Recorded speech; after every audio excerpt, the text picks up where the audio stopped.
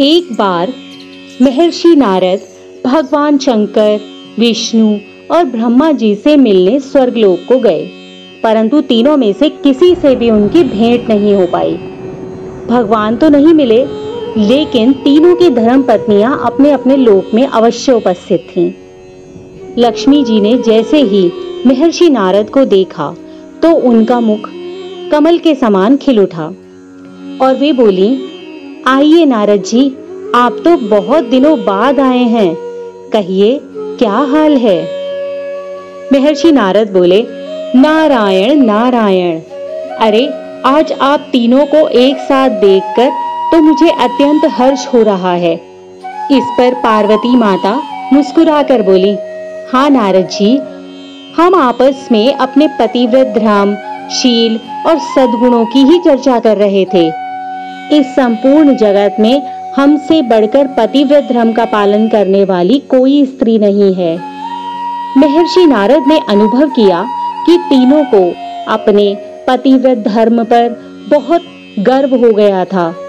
अतः उसी घमंड को चूर चूर करने के लिए नारद जी बोले, माता, यह बात तो परम सत्य है कि आप तीनों ही एक से एक बढ़कर पतिव्रता और धर्मचारिणी हैं। लेकिन माता, क्या बताऊँ? अभी कुछ दिनों पहले मैं चित्रकूट की ओर चला गया था। वहाँ मैं महर्षि अत्रि के आश्रम पर पहुँचा।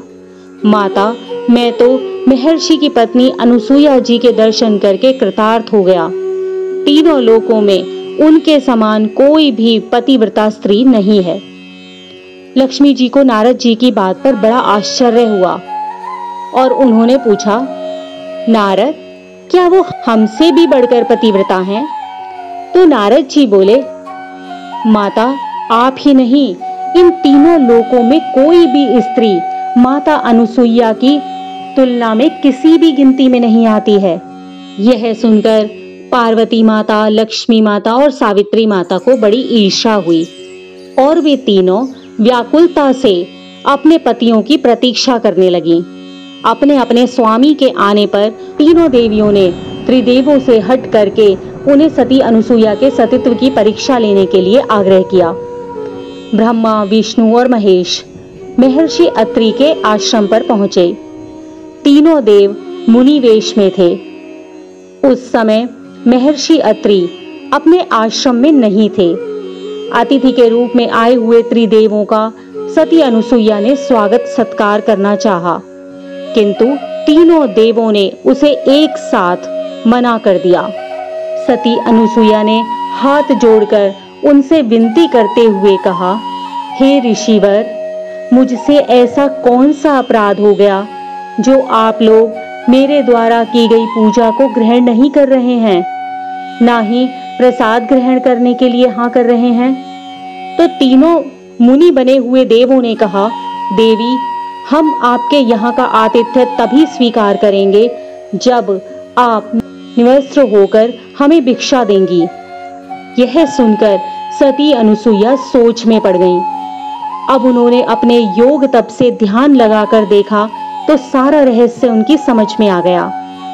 वे समझ गईं कि ये ऋषि नहीं, बल्कि त्रिदेव हैं। वे बोली, ठीक है भगवान, जैसा आप कहें मैं वैसा ही करूँगी। मैं एक सच्ची, पतिव्रता स्त्री हूँ। फिर माता अनुसुईया तीनों को बिठाकर अपने पति अत्रि ऋषि के पास गईं और उनके चरण धोकर जल ले आईं। और इस जल को उन्होंने तीनों देवों के ऊपर छिड़क दिया। जल के प्रभाव से तीनों देवता दूध मुहे बच्चे बनकर बाल क्रीड़ा करने लगे। माता अनुसुईया ने उन तीनों को दूध पिलाकर, फिर माता अनुसुईया ने तीनों को दूध पिलाकर उन्हें चावल भात खिलाया, जिससे उन्हें गहरी नींद आ गई और तीनों देव वहीं पर पालने में सो गए। जब तीनों देवता लौटकर बहुत समय तक अपने लोक नहीं पहुँचे तो देव पत्नियाँ चिंतित हुईं और उन्होंने देव ऋषि नारद जी के पास जाकर इसके बारे में पूछा।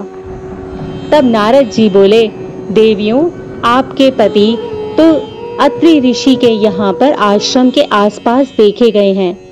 तीनों देवियाँ चिंतित भाव से, बहुत शीघ्रता से अत्रि ऋषि और माता अनुसुईया के आश्रम की ओर बढ़ चली और माता अनुसुईया से अपने अपने पतियों के बारे में पूछने लगी। तो माता अनुसुईया ने पालने में खेलते तीन सुंदर बालकों की तरफ़ इशारा करके कहा ये हैं तुम्हारे भरतार। इनमें से पहचान लो कौन से किसके हैं। बहुत प्रयास करने पर भी तीनों देवियाँ अपने अपने पति को पहचान नहीं पाई। तब तीनों ने हाथ जोड़कर देवी अनुसुईया से प्रार्थना की कि, हे माता, हमसे बहुत बड़ी भूल हुई। आप हमें क्षमा कर दें और हमारे पतियों को बाल रूप से, मूल रूप में लाने की कृपा करें। उनकी क्षमा याचना पर माता अनुसुईया ने त्रिदेवों को फिर से योग तप का जल छिड़क कर त्रिदेवों को उनका रूप प्रदान किया और उसके पश्चात तीनों देव अपने असली रूप में प्रकट हो गए। सती अनुसुईया की परीक्षा से प्रसन्न होकर वे बोले, देवी, वरदान मांगो। त्रिदेव की बात सुनकर अनुसुईया बोली, प्रभु, मैं आप तीनों को अपनी कोख से जन्म देना चाहती हूँ। मुझे यही वरदान चाहिए। और किसी वरदान से मुझे क्या लेना है? तभी से माँ सती अनुसुईया के नाम से प्रसिद्ध हुई और भगवान दत्तात्रेय के रूप में त्रिदेव ने सती अनुसुईया के गर्भ से जन्म लिया, जिनके तीन शीश और चार भुजाएँ थीं और उनमें त्रिदेव की शक्तियाँ समाहित थीं। रामायण में भी अनुसुईया माता के जीवन के विषय में बताया गया है, जिनके अनुसार वनवास काल में जब भगवान राम, सीता और लक्ष्मण महर्षि अत्रि के आश्रम में जाते हैं तो अनुसुईया जी ने सीता जी को पतिव्रत धर्म की शिक्षा दी थी। जय सतीमा अनुसुईया।